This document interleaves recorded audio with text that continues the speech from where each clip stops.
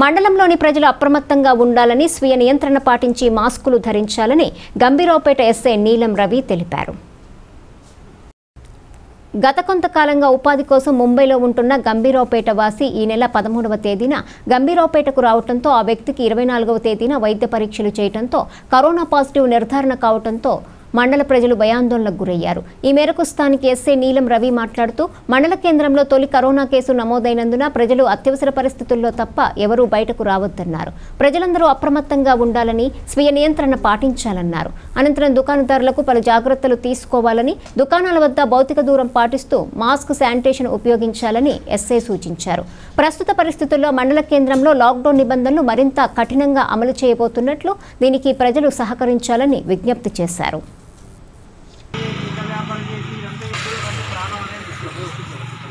అర్థమవుతుందా అది గుర్తుపెట్టుకొని మీరైనంత జాగ్రత్తగా ఉన్నాడు ఏదో అధికారుల కోసం షాప్ క్లోజ్ చేస్తాను ఓపెన్ చేస్తాను వాళ్ళు కాకుండా మీ అంతటా మీరు జాగ్రత్తగా ప్రయత్నం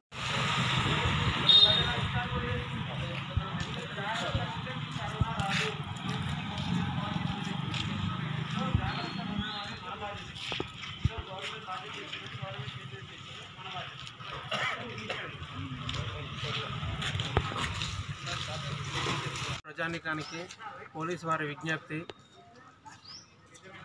ఇప్పుడు చూస్తున్నాం మనం చాలామంది బయటి రాష్ట్రాలలో ఇంతకుముందు సెటిల్ అయిన వారందరూ కూడా ఇప్పుడిప్పుడే తెలంగాణకు మిగతా రాష్ట్రాలకు కూడా వస్తున్నారు.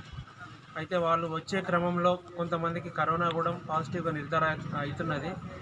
దాంట్లో ఒక ఇరవై ఒక మినీ బస్సులో ఇరవై ఐదు మంది ముంబై నుంచి వచ్చారు. మన గంభీరావుపేటకు కూడా బాగన్న గారి లక్ష్మణ్ గౌడ్ అనే వ్యక్తి పదమూడవ తారీఖు వచ్చిండు. అతనికి నిన్న కరోనా పాజిటివ్గా నిర్ధారణ అయ్యింది. అతడు పదమూడో తారీఖు నుంచి కూడా హోమ్ క్వారంటైన్లో ఉన్నాడు. అయినప్పటికీ మండల ప్రజలందరూ అప్రమత్తం కావాల్సిన అవసరం ఉంది. స్వీయ క్రమశిక్షణతో స్వీయ నియంత్రణ పాటించి ప్రభుత్వ సూచనలు అధికారుల సూచనలు ఎప్పటికప్పుడు గమనిస్తూ అత్యవసర పరిస్థితులలో మాత్రమే బయటకు రండి అనవసరంగా బయట తిరగకండి. కరోనా అనేది చాలా విస్తృతంగా వ్యాపించే వ్యాధి. కాబట్టి ప్రజలందరూ స్వీయ నియంత్రణ పాటిస్తే మాత్రమే దీనిని మనం కంట్రోల్ చేయగలం. ప్రస్తుతానికి గంభీరావుపేట మండల కేంద్రంలో లాక్డౌన్ రూల్స్ కఠినంగా అమలు చేయబడుతున్నవి. ప్రజలందరూ దీన్ని గమనించి మండల కేంద్రానికి అత్యవసర పరిస్థితుల్లో మాత్రమే రాగలరు. మండల కేంద్రంలోని ప్రజలు కూడా వీలైనంత వరకు బయట మూమెంట్ తగ్గించి స్వీయ క్రమశిక్షణ పాటిస్తూ నియంత్రణలో ఉండండి.